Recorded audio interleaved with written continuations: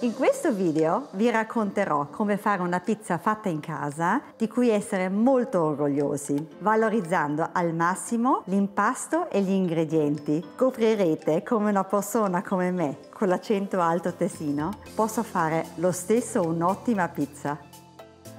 Grazie alla pietra refrattaria possiamo simulare la cottura nel forno a legna come in pizzeria. La ceramica di cui è costituita accumula molto calore in fase di preriscaldamento. Questo le permette di raggiungere una temperatura decisamente superiore rispetto alla temperatura del forno. In questo modo tutto il calore della pietra verrà rilasciato non appena entrerà in contatto con il nostro impasto, cuocendo la pizza in soli 5 minuti.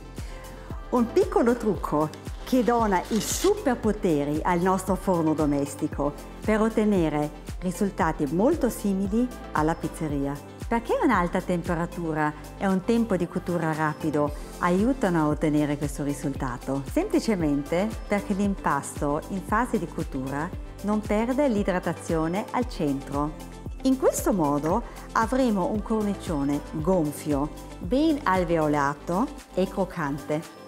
Grazie alla ceramica vetrificata, la pietra refrattaria 1000 si può pulire molto rapidamente con acqua calda e detersivo. Quando vedete il fondo della pizza nero, molto spesso non è bruciato, ma sono i residui di sporco. Con una pietra pulita questo non accade. Per molti di noi fare la pizza è un vero e proprio rituale. Tendere l'impasto con le mani, infornarlo con la pala di legno e vederla crescere in forno è bellissimo. Un divertimento per tutta la famiglia che coinvolge anche i figli oppure anche i mariti che normalmente non amano cucinare. Se siete pigri o semplicemente non avete avuto il tempo di preparare il vostro impasto, potete tranquillamente comprarlo dal vostro panettiere di fiducia o al supermercato. Inoltre, tramite l'app potete avviare il preriscaldamento direttamente dall'ufficio prima di rientrare a casa.